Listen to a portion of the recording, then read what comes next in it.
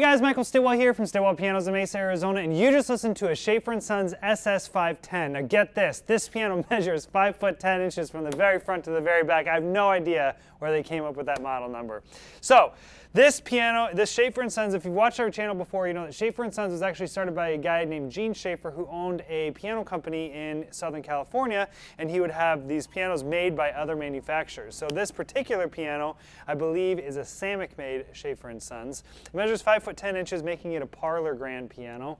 Um, we, this, how we got this piano was a little unique. So, I have a broker friend, he's actually a piano rebuilder in Southern California, and he actually had this piano, even though what he normally does is rebuild old Steinways and Mason Hamlins and stuff. He had this piano in his shop because um, he got it in on some trade, and he would just kind of chip away at this thing and work on it on the side for a long time.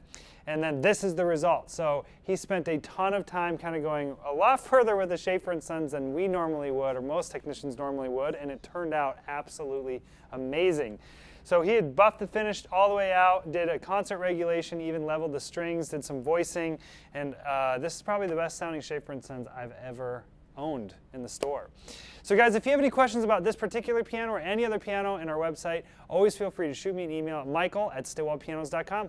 Thanks for watching, guys.